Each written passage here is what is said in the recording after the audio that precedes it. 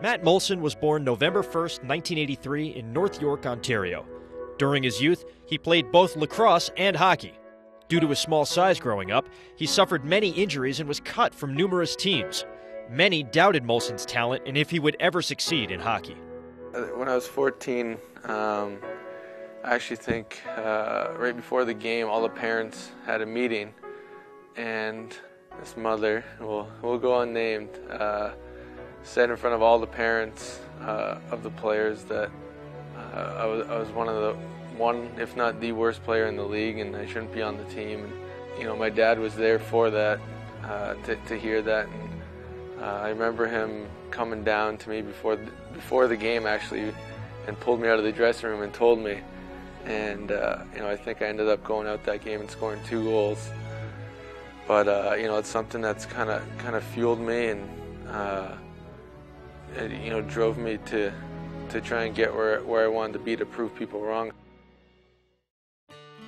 With the help of his father, Moulson defied his critics and continued to work hard to reach his goal. There was a lot of sacrifices that had to be made. In my case, uh, I remember my dad waking me up in the mornings before school to go for runs, work out. You know, he would just skate us in the ground at about 6.15 in the morning. He uh, would always tell me, if you know, if we're going to do this, you're going to have to work harder than anyone uh, just because of my size and to have to do things other people aren't. My first year of junior, uh, you know, I had a, a pretty good year. I went to try out in the BCHL. I got cut from the, the Vernon Vipers. Uh, tried out in the USHL. Got cut from Sioux City. I was kind of thinking, am I really as good as I, I think I am after having one good year in junior? And I knew at that point when I was 17, 18 that uh, you know my hockey career was wasn't exactly looking the brightest. So um, you know I wanted to go to school to fall back on. I started off uh, real hot that my second year of junior. Cornell approached me after one of the games. And they said, "We really like you. We're gonna kind of scout you over the next week." They called me up after the week and said, "We'd like to offer you a spot." And uh, I said, "All right, I'll, I'm gonna talk it over with my parents and I'll get back to you." And I immediately called my dad and said, "Dad, Cornell just offered me a spot." He said, what'd you say?" I said, I'd, t- I'd talk it over with you." He said, "Well, call him back. Tell him you're going." I said, uh, "All right." So I called him right back and said, uh, "All right, I'm in."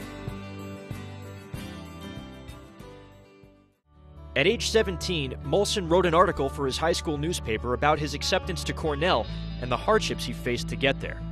I shared my struggles and some hills I had to climb and some adversity I had to face. You know, I think I just wanted people to know that. And it wasn't a pretty road or an easy road there, but um, you know, eventually I got to, to where I wanted to be. After I finished what I thought was a pretty successful college career, you know, I was drafted by Pittsburgh and I hadn't had much contact with them, but I was pretty positive that you know they'd want to sign me after the, the four years I had, but um, they actually did not want to offer me a contract, so I was uh, released to be a free agent. A couple weeks went by, and my agent called me up in the car. He said, "We got an offer from LA." So I said, "All right, sounds good." So I went down to Cornell for I think uh, three or four days, and then headed to uh, the rookie camp in LA to start my professional career. In Moulson's first year with the LA Kings AHL affiliate, the Manchester Monarchs, he tallied 57 points, including 25 goals. I think I was the only forward in like the top 20 scoring on our team that didn't get called up my first year. My second year, I think I got called up after nine games uh, on my birthday play my first game against San Jose. You know, I can't describe to anyone how happy or excited I was. I ended up scoring in my first game, and I had the, probably the biggest smile I've ever had in my life. I think the hardest part for me was the next year when I made the team out of camp and then, you know, had my place there and all my things shipped there and then got sent down, you know, seven games later. That was probably the toughest even after all the things that went on when I was 14, 15, 16, that was probably the toughest moment in my career.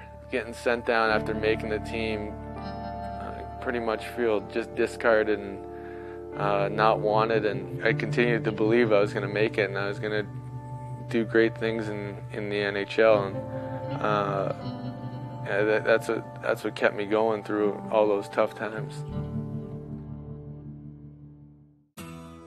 Moulson became a free agent after the 2008 2009 season and was signed by the New York Islanders, where he joined his longtime friend, John Tavares. My brother Chris played with, with Johnny. They played lacrosse and hockey together growing up. When the Islanders called last year, I immediately called Johnny.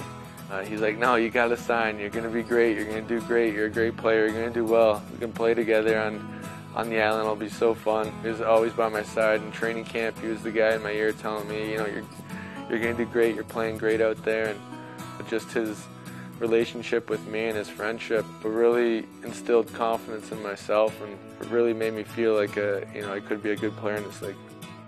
Moulson, who had played just 29 NHL games before 2009, proved to be one of the Islanders' best offensive players. He played in all 82 games and led the team with 30 goals.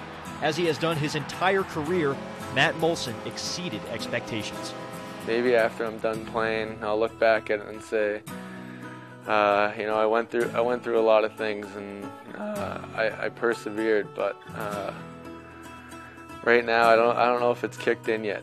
I don't know if uh, if I really realized uh, all the things that you know I went through and had to go my way, and um, you know I've been very fortunate and lucky to to get some good bounces along the way with the bad ones. No matter what, I'm going to have to continue to silence my, my critics, and uh, you know I'm fine with that. That's kind of kind of what drives me. And uh, you know, before it was her saying I was the worst player, now it's people saying I uh, can't score 20, 30 goals again. So um, you know, next thing I have to do is silence them.